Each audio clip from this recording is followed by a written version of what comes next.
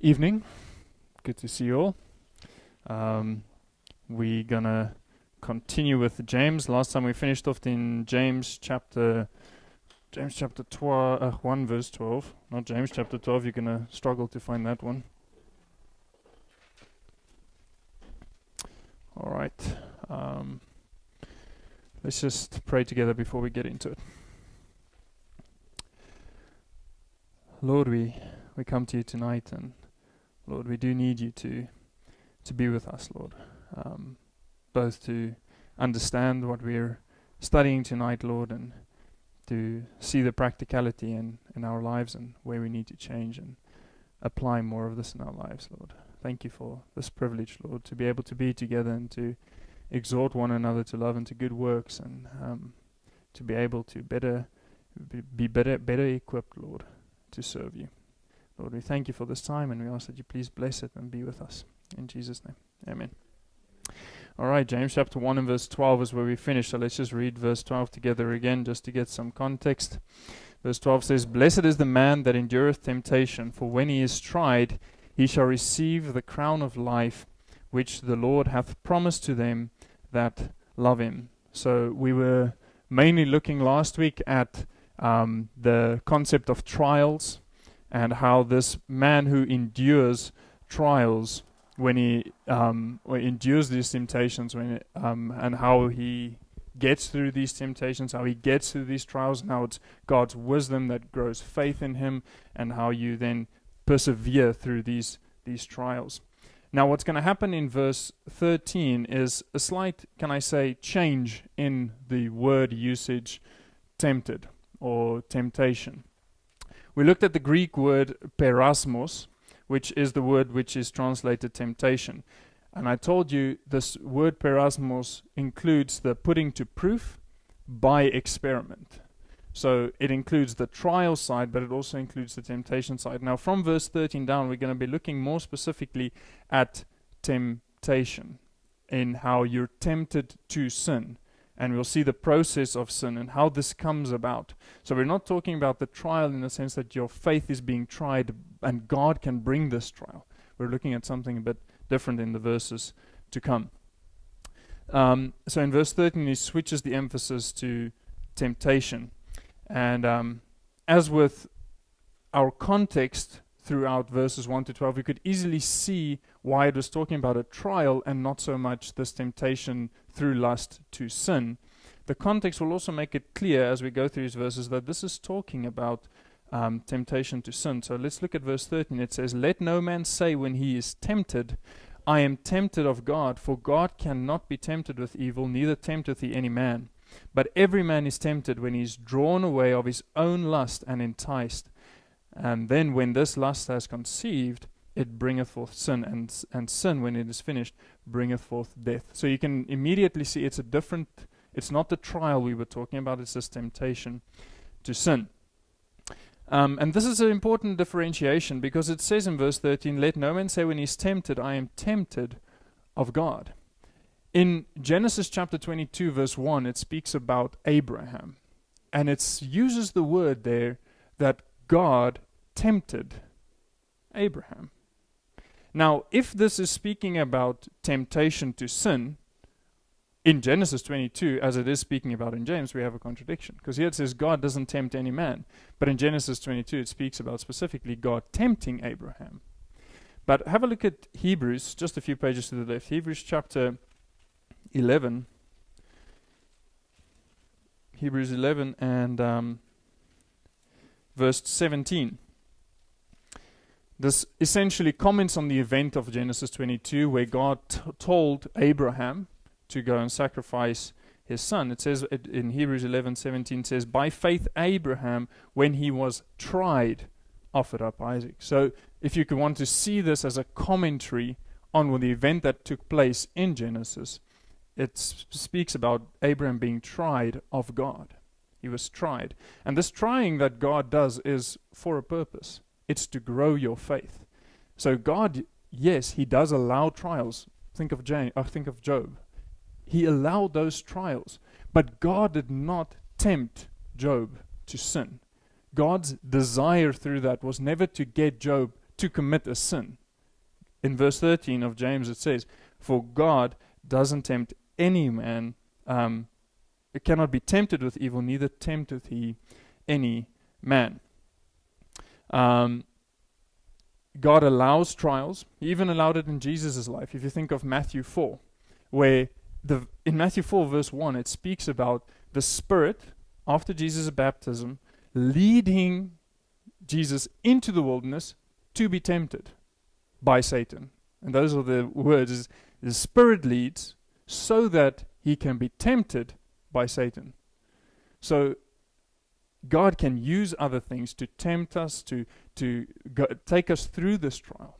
But he was preparing Jesus for the ministry in Matthew chapter 4. So it's always with a fruitful goal in mind when God tries. He has a fruitful goal in mind, never um, sin. Um, so I think the lesson for us is to see God in the trials, but never blame Him for the sin that might result from our own weaknesses. Okay, see God in the trial, know that He's at work, but if your weakness leads to sin, it's not because of God, it's because of our weakness through that. So temptation to sin comes from one of our three enemies. And in James chapter 3 verse 15, you should also note from basic discipleship that we have three enemies, the world, the flesh and the devil. In James chapter 3 verse 15, you you see this world, this um, earthly, fleshly and devilish um, enemies of us. And we are to resist and to fight these enemies. Um, and this is why verses 14 and 15 and 16 we'll see how we are to fight against these enemies of ours and how to understand this process of sin. Because if we understand the process of sin, we know how to identify the things, where the temptation comes, where the problem is, and where it leads to, where it specifically leads to sin. Now, something that I just want to mention, sort of in passing by on verse 13, is the doctrine of impeccability. Now, the doctrine of impeccability essentially is the um, the inability of God to sin. It's the inability of God to sin. Now, a lot of people say Jesus was unable to sin. Because if Jesus is God, okay, God cannot be tempted, neither tempteth he any man. So he cannot be tempted with evil. Now, a lot of people use that to say, okay, Jesus was never tempted. That is not the case. In Hebrews chapter, have a look, you're there. Hebrews chapter 4. Um, even just referencing Matthew chapter 4 just now. Jesus was tempted. But in Hebrews chapter 4, it speaks in verse 15, it speaks about, For we have not a high priest which cannot be touched with the feeling of our infirmities, but was in all points tempted, like as we are, yet without sin. So, Jesus could be tempted. Unlike God, who cannot be tempted with evil. Because Jesus took on the form of a servant. He became like us. He was fully God and fully man. So he had, I almost want to say, he knew everything there is to know about creation. But as a child, he had to learn to write his name. Is like the concept of being fully God and fully man at the same time. And so this, Jesus didn't have sin, but he could be tempted. And that's important for us to know because if we look to Christ as our example, we need to be able to know that the temptation he faced was real but he had victory over it. All right. All right. So Christ is able um, to sin, and he was tempted, but he never sinned. All right. Verse 14 and 15. As I mentioned, we're looking at the process um, of sin. Now, this is a, a six-step process, which um, I I learned from Pastor Mike. I'm sure he learned that from someone else. I don't know. but the the process of sin. Now, when I see a six step process, I immediately think of these prosperity preachers who give you a seven step plan to your dream. Now, this is just the inverse. This is like the six step plan to a nightmare. So, um, so this is very important to understand because it'll help you greatly to fight against sin. So, this six step process starts. Step number one is presentation. Presentation. And the presentation to sin is essentially um, something you get confronted with something and you wonder what this is. Um, what what is this all about? Okay, so you get presented with it. But the st step that follows from that is illumination. illumination. And you see that flowing in verse 14. It says, But every man is tempted when he's drawn away of his own lust and enticed. This illumination is this enticed aspect. Someone explains the presentation. So you get confronted with this thing. It's not sinful yet that you've been confronted with it, but now you start probing a bit into it, and so you get enticed. It gets illuminated, it gets better um, presented to you. And now, as soon as it's been illuminated, step three is contemplation. Contemplation. Now, this is where your sinful nature starts um, kicking in and lust begins to draw. That's what we see in verse 15. Lust then begins, oh, verse 14, sorry, uh, it begins to draw you. Now, your sinful nature, as you'll be as you'll be very familiar with, is contrary to if you're saved, what your spiritual nature wants, if I can put it that way. Your spirit, you want to please God, but there's another law, as Paul refers to it, that is contrary to that. Now, um, when this contemplation starts, I want to say this is the debate stage, right? This is where we see Jesus and Satan. Satan says something, and Jesus opposes it. Right. Now, Jesus understood that in this contemplation stage, where you get confronted, it's illuminated, it get, you, you have this option. Jesus saw the way of escape. 1 Corinthians, 1 Corinthians 10, verse 13. You can turn there quickly. It's a very good verse to, um, to memorize and to know and show to people as you. So 1 Corinthians 10, 13. So this is during the contemplation stage. You have the way of escape. 1 Corinthians 10:13 it says, "There hath no temptation taken you, but such as is common to man. But God is faithful, who will not suffer you to be tempted above that um, you are able, but will with the temptation also make a way of escape that you may be able to bear it." You may be able to bear it. He's not going to take you out the temptation.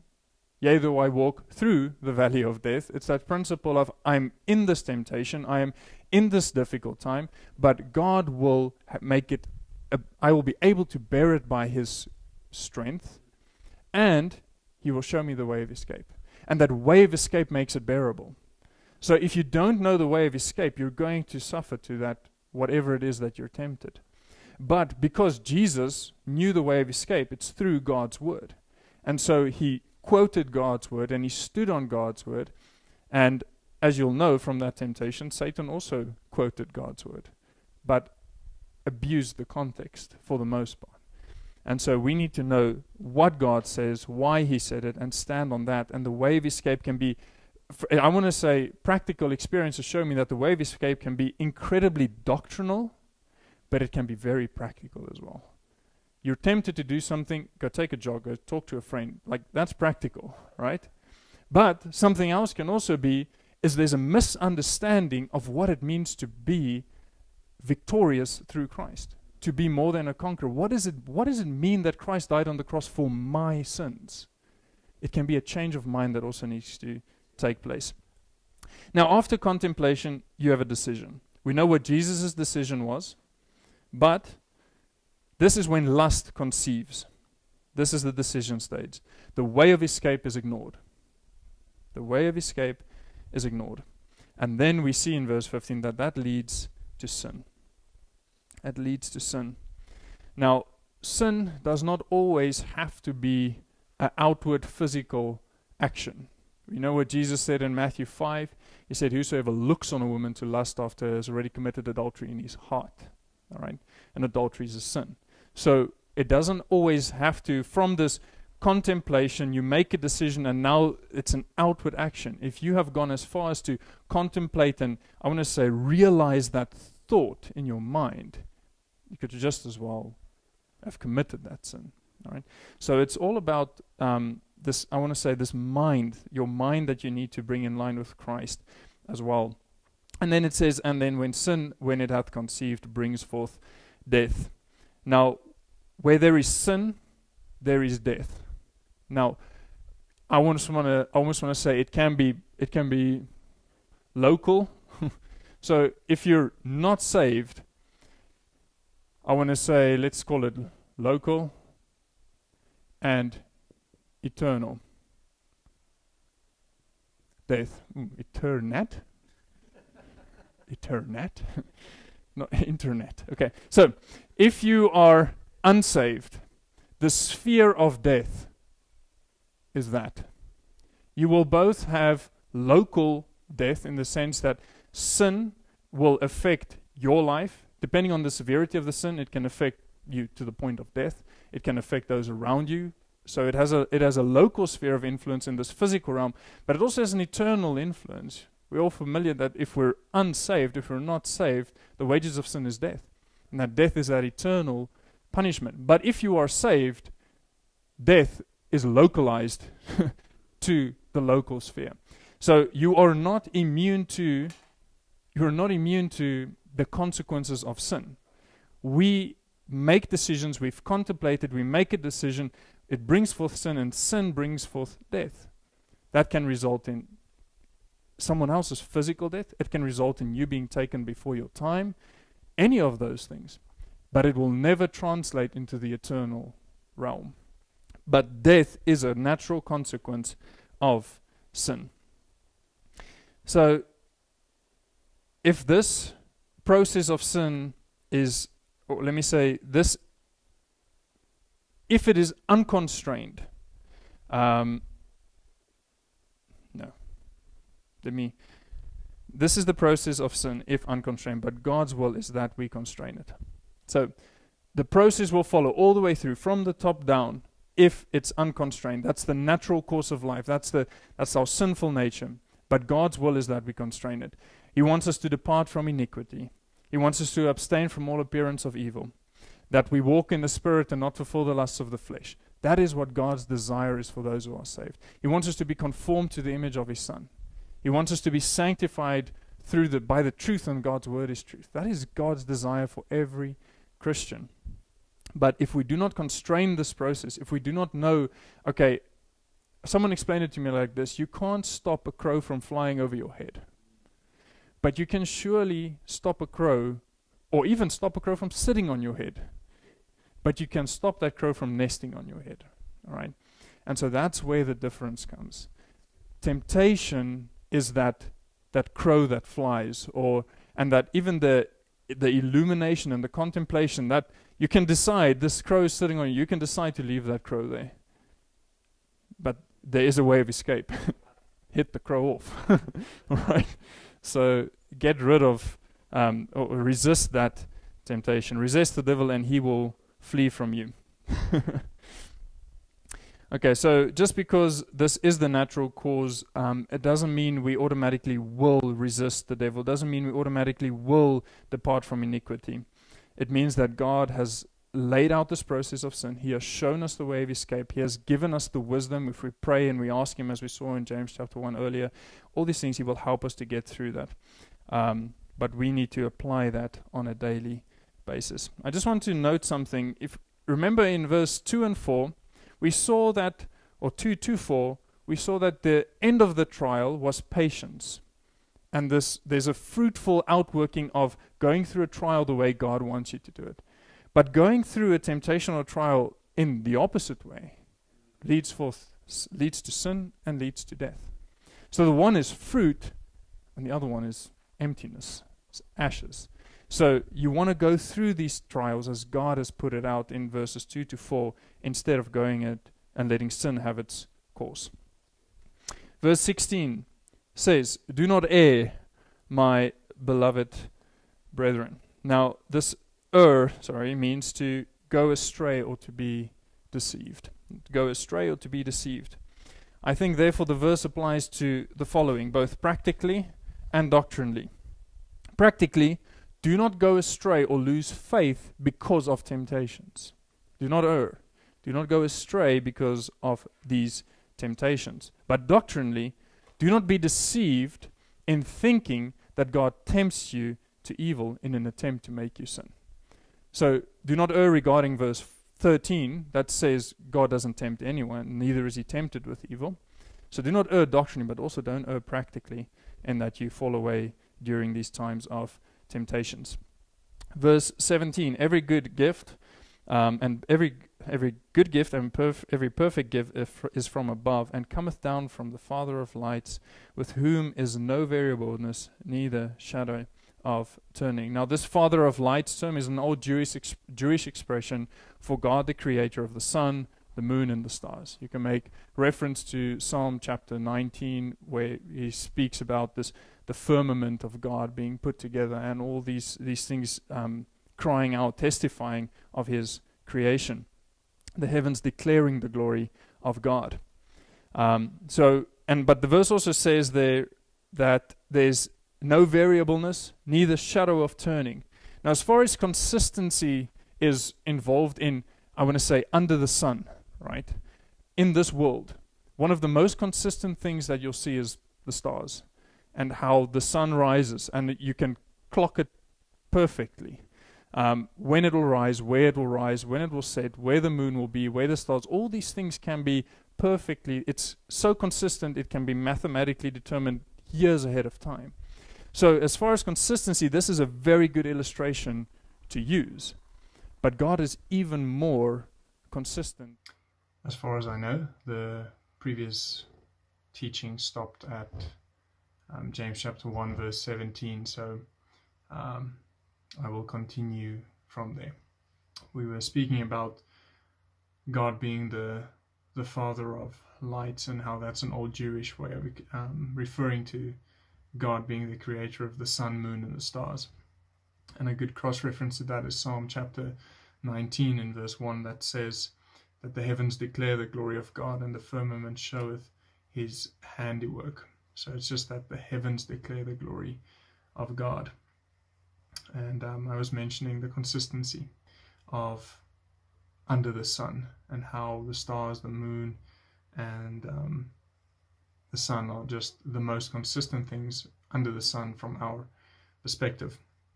But then verse 17 goes on to say, Every good gift comes down from this Father of lights. It says every good gift, not some of the good gifts, every good gift comes down from God, who is the Father of lights.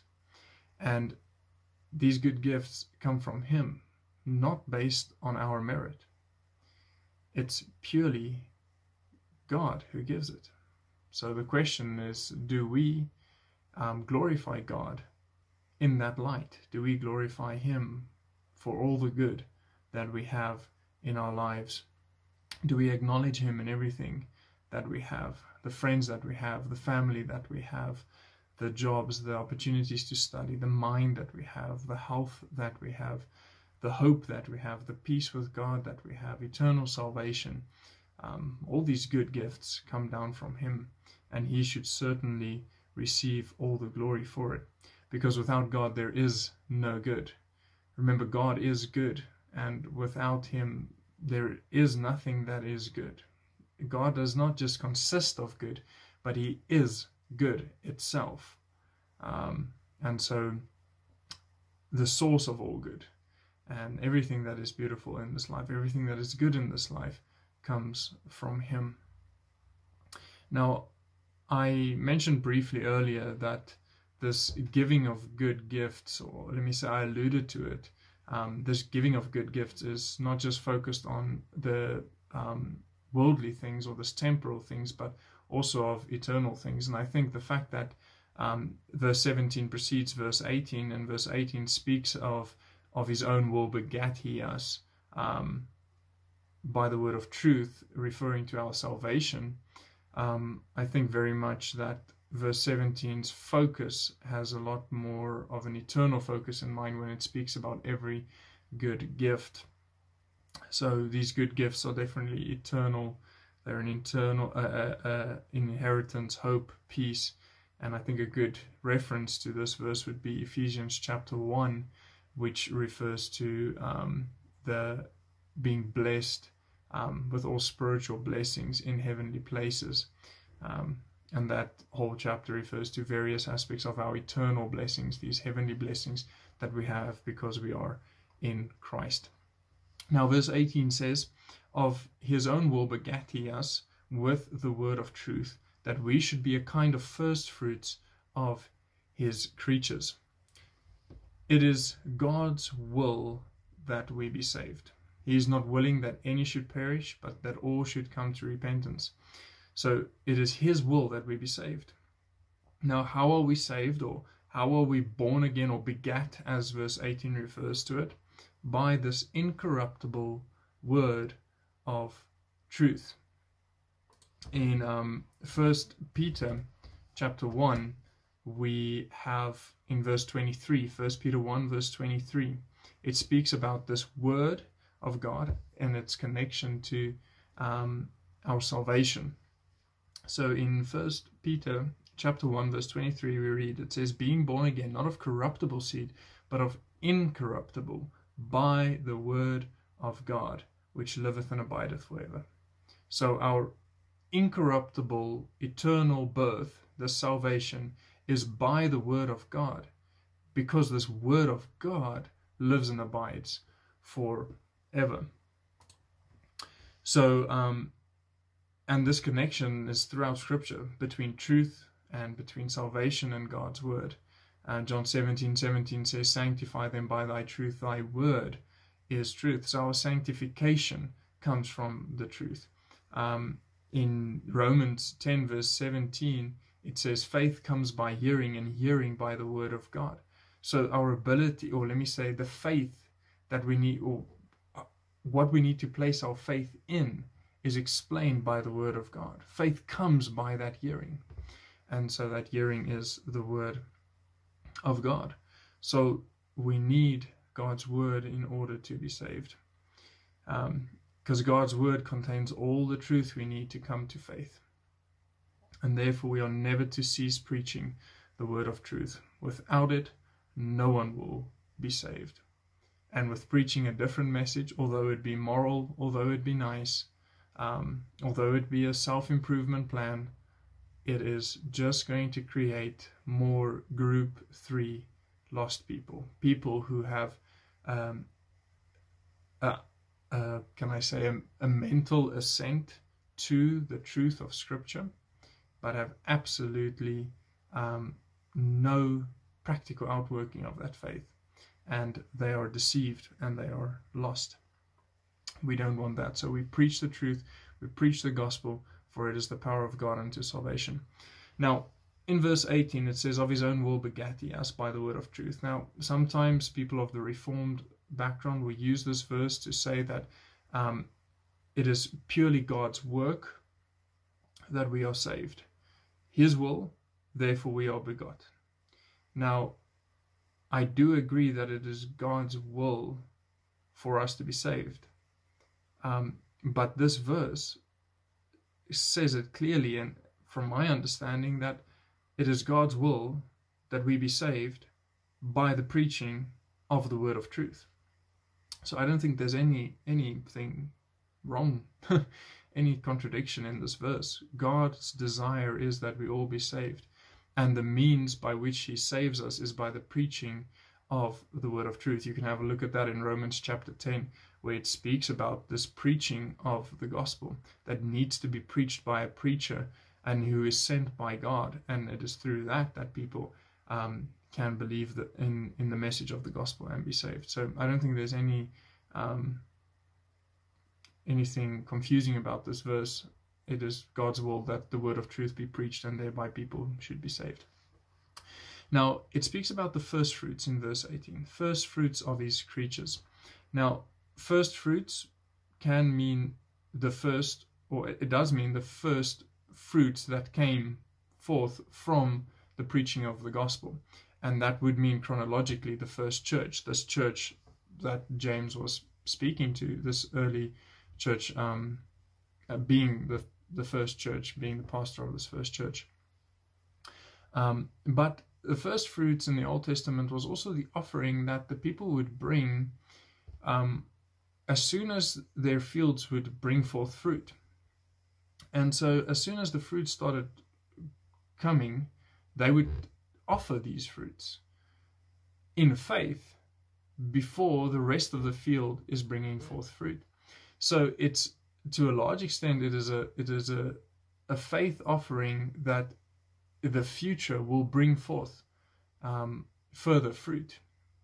And so, in the same sense, I think we being saved are the first fruits in the sense that there's still more to come. The work is not complete while we are still in this flesh and this, this sinful body. I'm sure you're familiar with it, but you can have a look at Romans chapter 8. Romans chapter 8 and verse 22. Um, 22 to 25, I'll read that. It says, For we know that the whole creation groaneth and travaileth in pain together until now. And not only they, but ourselves also, which have the first fruits of the Spirit. Even we ourselves groan within ourselves, waiting for the adoption to the redemption of the body. So we're waiting for that redemption of the body. Verse 24 For we are saved by hope, but hope that is seen is not hope. For what a man seeth, why doth he yet hope for? But if we hope for what we see not, then do we with patience wait for it. So there's this patience waiting for the redemption of the body. It speaks about in verse 23 that first fruits of the Spirit. Um, and so I think there's a, a great parallel between Romans 8 and James chapter 1, speaking about this first fruit. Um, and this hope that we have that the fact that we are saved is just the foretaste of what is yet to come. Um, and so, because of this, we endure trials joyfully because we have that hope of a future. Now, in verse 19, um, James changes the the subject a little bit, um, and he goes into sorry one of the next divisions, one of the next tests, tests of true faith, and this is the test of the response to the word. How do you respond to the preaching of God's word? So in verse 19 it says, Wherefore, my beloved brethren, let every man be swift to hear, slow to speak, and slow to wrath. So this wherefore um, is essentially following up on verse 18 by saying, For this reason. So because you are saved, because you are begotten, because you have this future hope, my brethren, let every man be swift to hear, slow to speak, and slow to wrath. We should live differently. Be- because we're saved, we should live differently. And this different life um, James starts explaining in verse 19, and as we go down, we'll see how he refers to this different life. But the first thing he mentions in verse 19 is that one way to be different is to speak less and to listen more.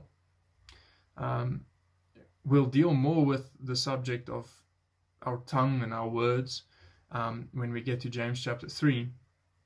But if you just look at James um, chapter 3 briefly, James chapter 3, verse 6 says the following And the tongue is a fire, a world of iniquity.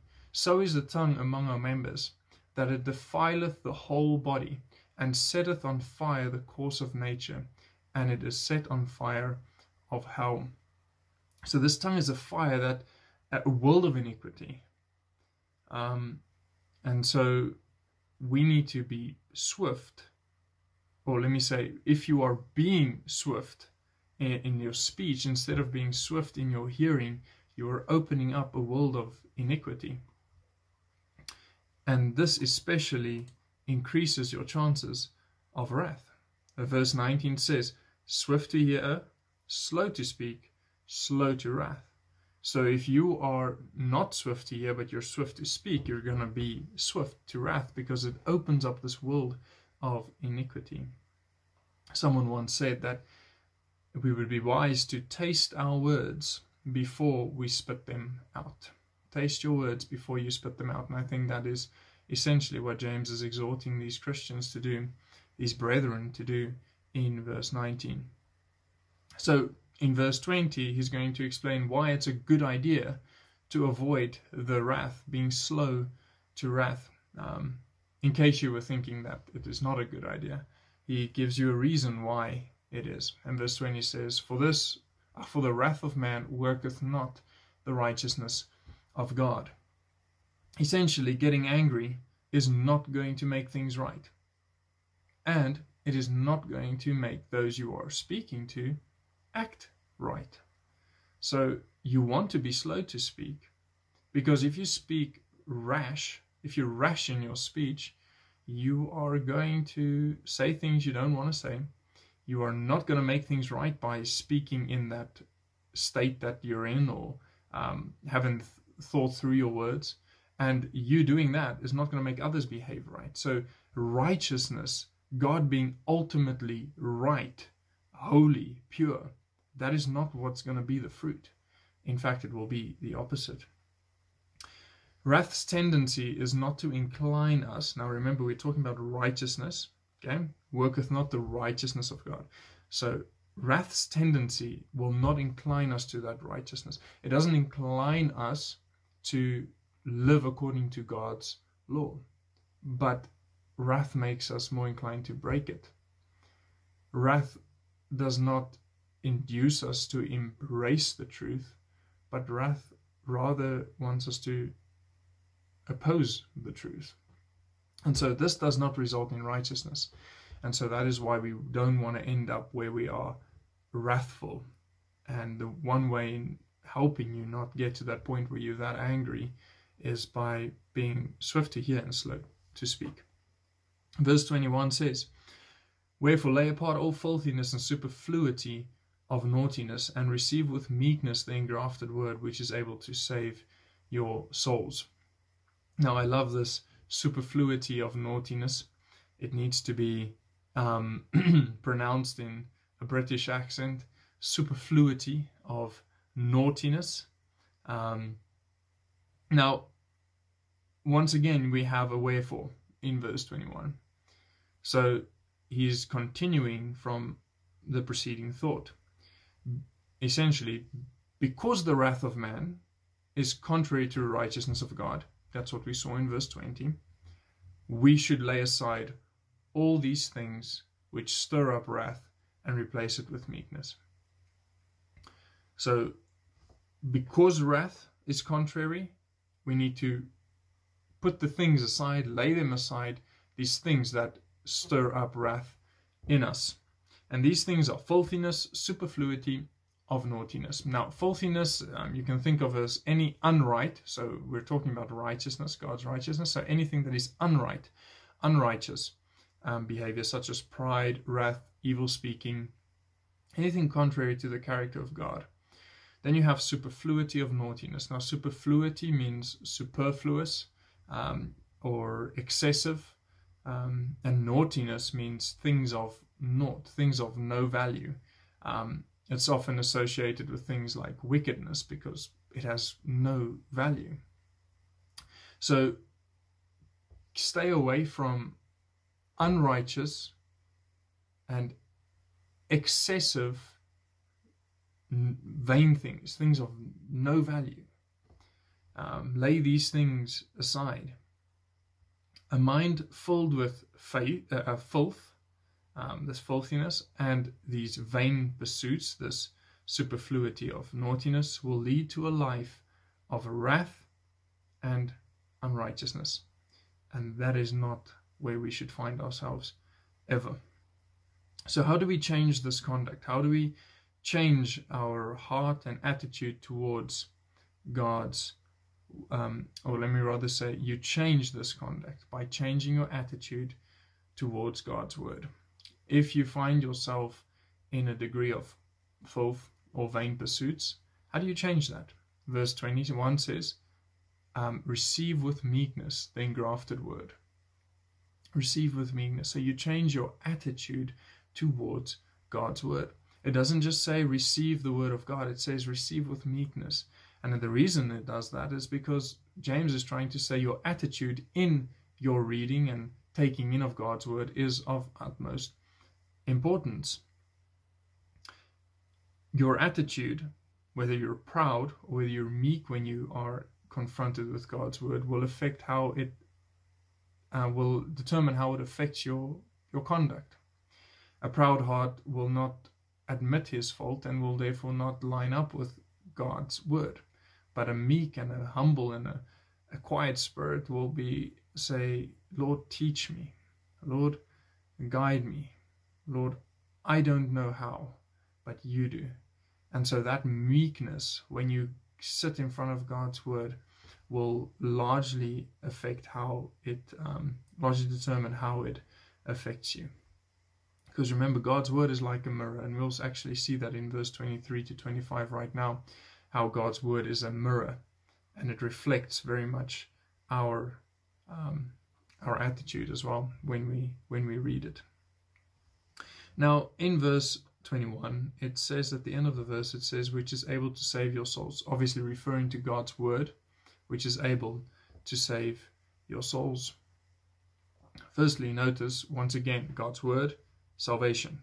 Word, salvation. This is consistent throughout Scripture. Um, we saw it earlier in verse 18. Um, you can see it in 2 Timothy chapter 3, verse 15, where Paul speaks to Timothy and he says, um, You have heard, you've had the scriptures from a child, and these scriptures were able to make you wise unto salvation. Um, and so, in that context, it speaks about exactly the same type of thing. Now, the reason I point out the saving of your soul is because um, I think it's important to understand that James is not exhorting these brethren, as we refer to them in verse 19, um, to be saved. They are brethren, they are saved. I think James is making a general statement about, about the efficacy of God's word in salvation. So, how effective, how how well God's word is, um, or how closely connected it is to to salvation. Um, he's not in he's not saying you guys need to be saved because they are already brethren. But it's just about how God's word is effective in making someone wise unto salvation. And as I said, that is a good reference to that is Second Timothy chapter three, verse fifteen. Um, so I don't think James is addressing a lost crowd. Um, I think he's dealing with group two Christians. And um, I think this is really important to understand because you're reading about filth and superfluity of naughtiness. Um, you're talking about being slow to speak and slow to wrath, and um, that these this wrath doesn't work the righteousness of God. The reason I say it's important to know that he's not talking to lost people is because saved people can be caught up in excessive vain pursuits, and um, unfortunately, sometimes filthy behavior.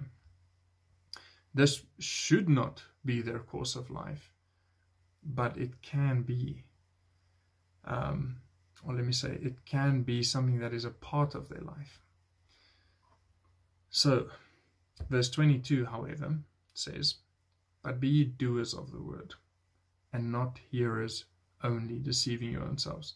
So, James is quick to say, It can be the case but it shouldn't be the case. We should all be doers and not hearers only. Group two, hearers only, not doers. So he's exhorting this group to, to say, guys, we need to be doers, not hearers only. Um, the natural course should be flowing from hearing to doing. That's the natural course for the Christian. We receive the word, that's faith, and then that's verse 20. Receive the, um, sorry, verse 21. And receive with meekness. And then verse 22 says, and be ye doers. Now, many have this intellectual faith, this hearing only faith. But saving faith results in practical faith. You see, intellectual um, faith doesn't result in practical faith, but saving faith results in practical faith. So if we could use the groups analogy that, or let me say categorization that we gave in the introduction, group, I think Paul, oh, Paul, James is saying something like, what will differentiate a group 2 Christian from a group 3 lost person is how he acts on what he hears or is exhorted to do. How he acts on what he hears. A group 2 Christian will act out when he's exhorted. A group 3 Christian will not. Oh, let me say group 3 Christian. Group 3 lost man who seems religious, will not. Now, that doesn't mean the group 2 Christian will respond immediately and change his life forever and never have a dip again. That's not what the verse is saying, but as a course of life over the rest of your life serving God, I think the general inclination or the general direction of your life will be one of exhorting, being exhorted to change and therefore becoming more like Christ. At a different rate for every person, in a different way for every person, but in that direction. And that is what James is saying be doers and not hearers only. The reason he says deceiving yourselves, verse 22, deceiving yourselves, I think confirms this group 2 and 3 um, that James is speaking to. Because a man who keeps living, as explained in verse 21, and shows no practical faith, but only remains a hearer of the word, deceives himself regarding his salvation. A group 3 person thinks that they are saved purely because of the intellectual or the mental assent they have um, and that they've heard the gospel or heard the teaching of scripture. And because they've heard or they have some sort of religious um, background, therefore they think they are okay. And um, they've deceived themselves. And if, if you've done any type of witnessing and speaking to people, you will be very familiar with this idea of people thinking they are saved because of some religious act that they do or because of something in the past that has happened to them um, or whatever the case is, but there's no real practical faith. And so these people are deceived about their eternity, they're deceived about their salvation. Um, this group three man proclaims real faith because he's heard it enough times, but he remains lost. And this is exactly where Satan wants to keep people. And this is why Satan has no problem with religion. In fact, I think Satan is quite a um, proponent for um, for religion because it keeps people in that state of deception, thinking they are okay um, when they are not saved. Now, verse 23 to 24 says, For if any man, for if any be a hearer of the word and not a doer, he is like unto a man beholding his natural face in a glass. For he beholdeth himself and goeth his way, and straightway forgetteth what manner of man he was. So this is essentially an illustration of what we just read in verse 22, where the people are exhorted to be doers and not hearers only. And so James illustrates it with a man looking at himself in a mirror, seeing and then departing without any change. But before we dig deeper into this illustration, I want to point out the word beholdeth himself. Um, he, this word behold means to observe, to understand, and to consider attentively. Um, attentively, sorry. Observe, understand, and consider attentively. This is not referring to a casual look uh, or a quick glance where you just walk past the mirror, see yourself, and realize it's still you. um, this is a attentive pause, um, a, a, deep understanding look at yourself. It's care this a careful, observant pause, and so there is full opportunity to see fault, full opportunity to see fault. Someone who has taken a careful look at God's Word in this way and has heard the preaching of it in this way, but still chooses to ignore the conviction of the Spirit or to act upon it, has deceived himself. So if you've you've really attentively and understandingly paused and looked into the Word of God and heard the preaching of God, of His truth, and you walk away and you choose to ignore that conviction, that is deception because you have full opportunity, you have heard, but you have not practiced. Now, what does this deception look like?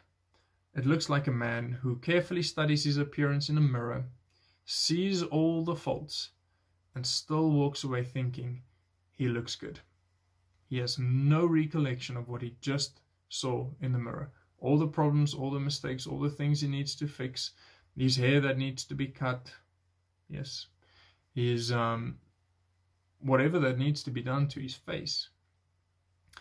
Um, he looks, he sees, but he doesn't do anything about it. And then as soon as he leaves the mirror, he forgets what he looked like. That is deception. That is absolute deception and dead faith. And that characterizes a group three audience. Someone who's looked deeply, spent time, listened to God's word, and not changed. That is a group three lost man. It is pure mental assent to the truth with no practical outworking.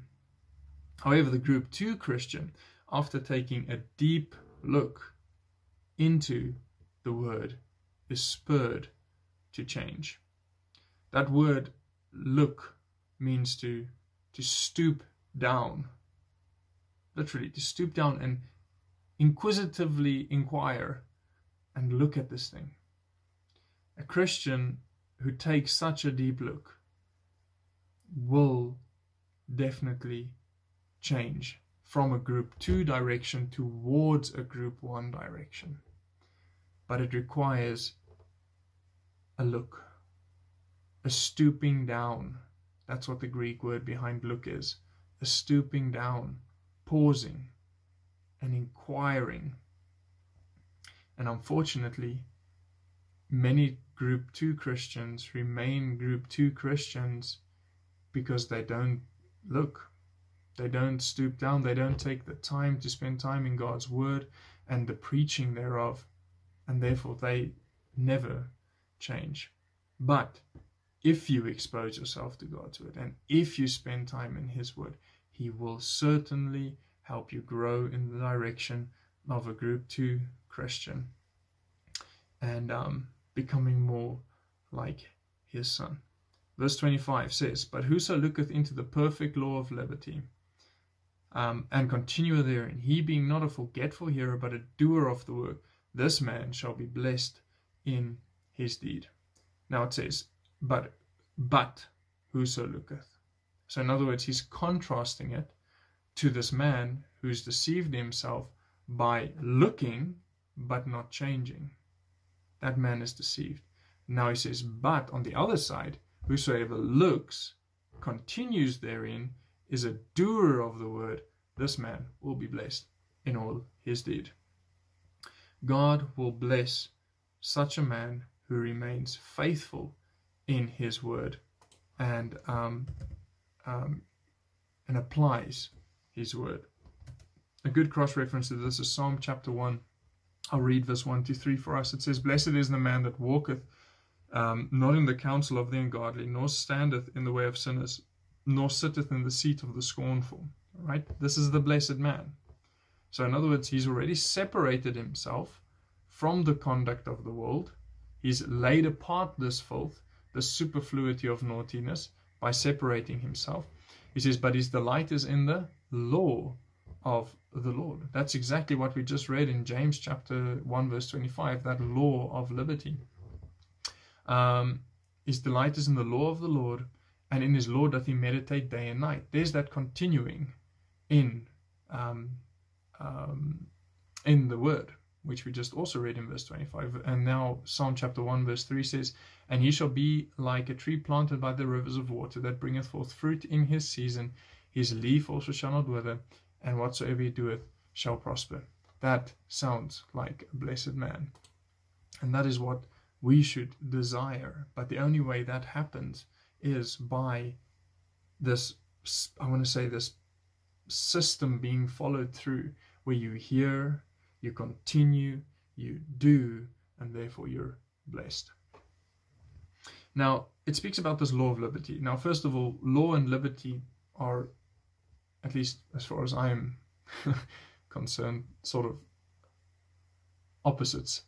Um, a law is a strict set of rules, you know, that we should follow, whereas liberty is not the absence thereof, but it's freedom to do what you want. Um, and law and liberty, but this speaks about the law of liberty. So quite an interesting statement. So I think two things that I want to point out on law of liberty is one, the first thing is that the presence of grace, the presence of this liberty that this verse speaks of, is not does not mean the absence of moral law. Presence of grace does not mean absence of moral law. Okay, there's law and liberty. The one doesn't exclude the other. So I think when we speak about the presence of grace not being the absence of moral law, it's something like this freedom from sin which we have in Christ. That liberty results in a freedom to serve God, serving and um, falling in line with God's requirements for service. So you have law and liberty. You're free from sin. There's your liberty to serve God. Um, being more, can I say, the law side of things. And good cross references to these are Romans chapter 8, verse 2. Um, we're not going to look at those for the sake of time, but Romans 8, verse 2, Galatians chapter 5, verse 1, um, Galatians chapter 5, verse 13, um, and First Peter chapter 2, verse 16. So it's Romans 8, 2, Galatians 5, 1 and 13, and then First Peter 2, verse 16. Now, the second thing that I want to point out on the law of liberty is that law can take on two forms. Um, the word law can either be prescriptive or descriptive. Now, prescriptive is to prescribe something, like, for example, the Old Testament law, where you have thou shalt, thou shalt not. That's prescriptive. But then you also have descriptive, like the law of gravity, which essentially speaks of the way in which something will behave itself. It describes a certain behavior. Like, because the law of gravity, gravity exists, if something falls, it falls at a certain rate. Or if something is no longer supported, it will fall. That is, it describes behavior. So there's prescriptive and descriptive. Now, this law of liberty, I personally think, is more of the um, descriptive side. Descriptive. The reason I say that is it describes the way in which a person who is liberated responds to the Word of God. That's what verse 25, I think, is all about. Describing the way the liberated man responds to the Word of God. Because he's liberated, therefore he continues in the Word of God. And because he's continuing in the Word of God, he is a doer of what the Word of God is saying. And because he is a doer, he is blessed. So the one flows from the other. So it describes this liberated man's way of life. But if you take the prescriptive position of this law, I think it can also make sense to say that a, a liberated man should continue in God's word and should um, do what God's word say. And if this liberated man continues and does one plus the other, it equals being blessed. And that's more of the prescriptive. So continue as a prescription and do the word of God as a prescription will result in being blessed. Either way, using your liberty, which you have in Christ, freedom from sin, using it to serve God is one of the happiest, one of the most blessed things that any person can do. Now, verse 26 says, If any man um, among you seem to be religious, this is this, can I say, group three man, he seems to be religious and bridleth not his tongue. So he's failed the test of um, hearing and doing. So he seems religious, he hears, he speaks in a certain way, but he doesn't bridle his tongue. Then we see the word again, but deceiveth his own heart. There we see that deception again. Because he hears, but he never does, he's deceived. Deceiveth his own heart. This man's religion is vain. There's a form of religion it seems or it sounds legit, but there's no show thereof. In other words, it is vain or it is empty. That's what the end of verse 26 says. This man's religion is vain. It's empty. It has no substance. This is not the way it should be. The real proof is in how this religious man acts outside of the religious setting. You see, it's easy for this religious man, this group three man, to, while he is in the presence of other believers, to speak religiously. but as soon as he's outside of that setting, what does his speech sound like? If he doesn't bridle his tongue outside of that religious setting, the chances are pretty good that he is a group three man. And we also, as Christians, need to be careful that our speech is consistent, whether we're at church or not at church. It doesn't matter. We are consistent. We serve God with our mouths, and that is wherever we are. Um, so I think what we need to ask ourselves is is the content and the manner of our speech before believers, where we need to seem religious, and before unbelievers, the same. This is one of the tests of true religion. So I'll leave that to God's Spirit to show us if we are at fault or failing this test. Now, verse 27 says, pure religion. So, in contrast to verse 26, this man that seems religious, pure religion and undefiled before God and the Father is this to visit the fatherless and widows in their affliction, and to keep himself unspotted from the world. Now, this word pure means unmixed. Okay? Religion, so this is an unmixed religion, is when a person who professes faith is doing something about that faith. So there's harmony. It's it's unmixed, it's homogenous. It's whereas the opposite would of that would be is to be is to be mixed and to be filthy and to like you have a little bit of this and a little bit of that, but you want unmixed, you want pure, pure religion. And that is when the professing is consistent with the doing. So it's not a little bit of theology mixed with worldly living. Living that is not pure religion, because there's a mix. It's rather it's a life that lines up with its theology. So you know what God's word says about something. That's your theology, and therefore your life lines up with what you know to be true. And you can see this in the illustration or the example that he gives about the widows and the fatherless by saying, You feed and take care of the widows and the fatherless. There you have your works, your practical, your doing of the word. But then you also have on the other side, you have your um, keeping yourself unspotted from the world, which is your sanctification, or can I say the spiritual side of this this coin. You have your theology, and then you have your doing of of the word. Now, something that came up just as a question in last night les- last night's last night's lesson was um, why specifically use fatherless and widows as an example. Now, I think the reason for that is remember the crowd that James is speaking to. He's speaking to these believers who are scattered um, away from their home, away from their church, away from their pastor because of the persecution that they were facing.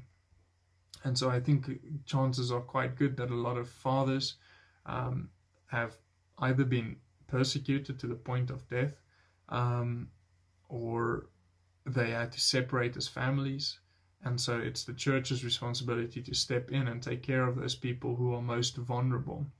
And um, that is certainly one of the ways in which you can do good um, based on the truth. So I think that's that. And then also something else that um, that was Pastor Mike also mentioned is just the consistency of this illustration with what we read in um, in James chapter two, where it speaks about in verse 15 if a brother or sister be naked and destitute of daily food, and one of you say unto them, Depart in peace, be warmed and filled, but you don't do anything to help them be warmed and filled, that is dead religion.